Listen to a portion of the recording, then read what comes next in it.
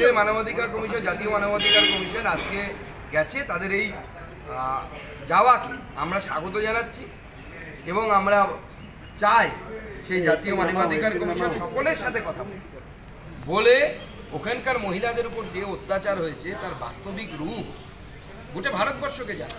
সত্যি human rights মানে পুরো দমে কি বলব, লুট হয়েছে রেপ হয়েছে হিউম্যান রাইটস বিঘের পর বিঘে জমি দখল হয়ে গেছে।